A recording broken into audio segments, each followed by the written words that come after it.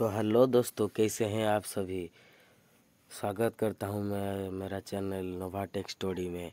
तो दोस्तों, आज का जो टॉपिक है, वो सिलेबस का ऊपर है कि हम जो सिलेबस कैसे डाउनलोड करेंगे, आप किसी भी डिप्लोमा स्टूडेंट हो या आईटीआई का, उस दोनों का बारे में मैं बताना चाहूँगा। अगर आप किसी डिप्लोमा या पॉलीटेक्निक का स्टूडेंट हो तो आप सिलेबस कैसे डाउनलोड करेंगे? तो अगर आपको सिलेबस पता होगा तो आप अच्छे से भी पढ़ पाएँगे आराम से तो इसीलिए आपको ज़्यादा कुछ नहीं करना। आप पहले किसी भी ब्राउज़र में चले जाना है तो उसके लिए हम चूज़ किए हैं Chrome browser.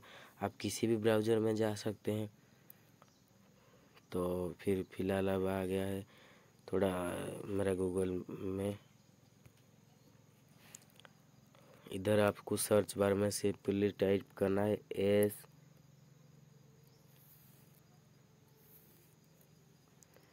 S C T E V T sorry वो ए हो गया है. S C T E V T देखो, मैं इधर पहले सर्च किया था, इस वजह से ये दिखा रहा है तो आपको भी उधर मान टोच कर लेना है.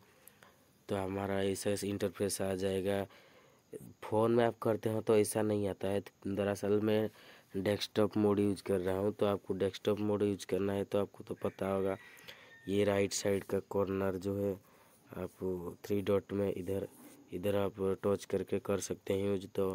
देखिए मैं थ्री डॉट पे गया, फिर नीचे देखो इधर आपका डेस्कटॉप डेस्कटॉप नीचे आपका डेस्कटॉप है तो इधर अभी इनएक्टिव कर लिया तो ऐसा इंटरप्रेस आ रहा है, पर अगर आपको बड़ा स्क्रीन चाहिए तो आप इसी थ्री डॉट पे जाके एक्टिव कर सकते हैं उसे डेस्कटॉप साइड को। तो देखिए, पहला जो हमारा वेबसाइट है गया है S C T B T लिखा हुआ है। आप सिंपली उसी में जाना है तो हम उधर टच कर लिए। तो देखिए, ये सेकंड में ऐसा कुछ इंटरफेस आ गया। तो थोड़ा फ़ोन में हम डेस्कटॉप साइड ओपन किए हैं तो छोटा दिख रहा है। इसलिए थोड़ा सा हम जूम कर लेते हैं। देखो, इधर एक दिखा रहा है ना स्टूडेंट कॉर्नर इधर देखो, ये स्टूडेंट कॉर्नर दिखा रहा है। तो सिंपली आपको उसका ऊपर टच करना है। तो हमारा देखिए अब डी, दोनों का मैं बोला था ना डिप्लोमा और आईटीआई का हम देखेंगे तो दोनों का आ गया है। तो ये देखिए डिप्लोमा का, ये आईटीआई का, बहुत कुछ है वो सी नोट, स्टूडेंट फीडबैक, ये वगैरह वगैरह, रिजल्ट्स भी इधर हम देख सकते हैं, देखिए लिखा है।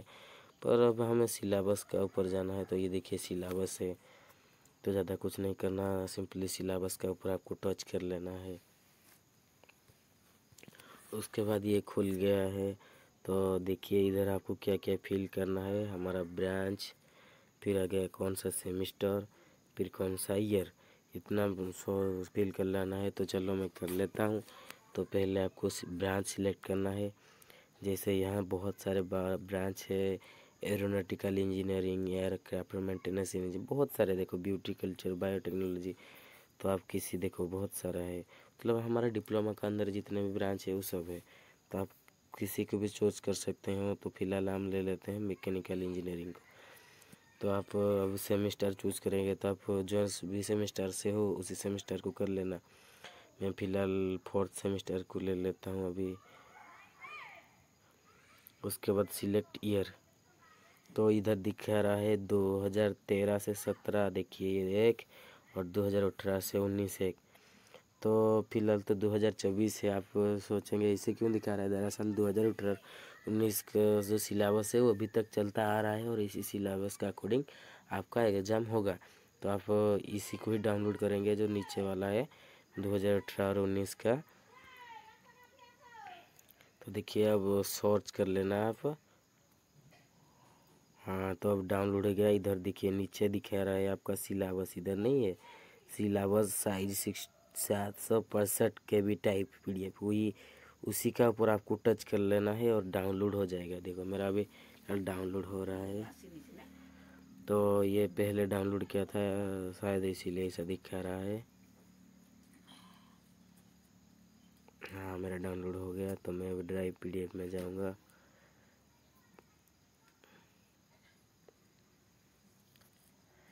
तो देखिए, हमारा कैसा कैसा क्या है?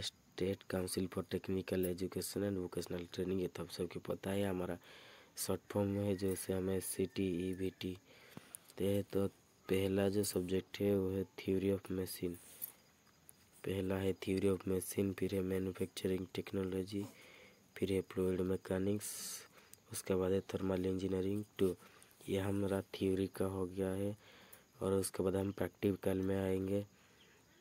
तो प्रैक्टिकल में भी हमारा तीन चार तो है। देखिए, एक है theory of machine and measurement lab उसका है मैकेनिकल इंजीनियरिंग लैब टू जो तो अब एक मैकेनिकल इंजीनियरिंग लैब वन पहले कर चुके हैं।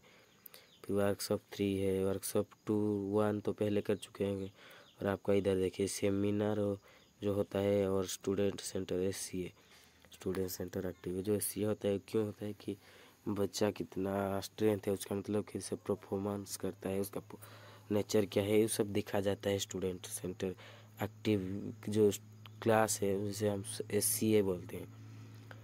तो देखिए नीचे आप आगे तो देखिए एक एक करके सब सब्जेक्ट है, देखो थ्योरी ऑफ़ मशीन ऐसा हम हर सब्जेक्ट को देख सकते हैं। मैन्युफैक्चरिंग टेक्नोलॉजी और आगे आपका फ्लूड मैकेनिक्स दिखा, इधर दिखा, इधर सब है आपका। कितना टाइम के कोर्स तो आपको ये ज़्यादा नहीं जानना है तो आपको क्या जानना है? क्या सब्जेक्ट है? देखो इधर है प्रॉपर्टीज़ ऑफ़ फ्लूड ऐसा हर सब्जेक्ट है, फिर उसका क्या क्या देखो डिफाइन फ्लूड मतलब क्या क्या पढ़ना पड़ेगा आपको, सब इधर है। तो आपको देखो ये फिर आ गया थर्मल इंजीनियरिंग टू फिर आ गया थ्योरी ऑफ़ मशीन मेजरमेंटिंग लैब मतलब ये प्रैक्टिकल में आ गया है। अब मैकेनिकल इंजीनियरिंग लैब टू ये आ गया आपका वर्कशॉप प्रैक्टिस तो फिर टेक्निक सेमिनार मतलब कैसे, क्या होगा? तो आपको मुझे और एक चीज़ भी दिखाना है, देखिए। हाँ इधर है। आप क्या कर सकते हैं, इधर आपको कौन सा बुक चाहिए रेफरेंस मतलब कौन सा ऑथर कर लेंगे तो आपको अच्छा रहेगा। तो इधर देखिए, ये है ऑथर ने। पहला हमारा जो, पहला जो ऑथर है, आर एस कुर्मी है। ए आर बसु एस सारो। सॉरी सॉरी ए एस सारोर ठीक है, फिर पी के नाग, फिर आप, हमारा आ गया पी के नाग, फिर एम राठौर।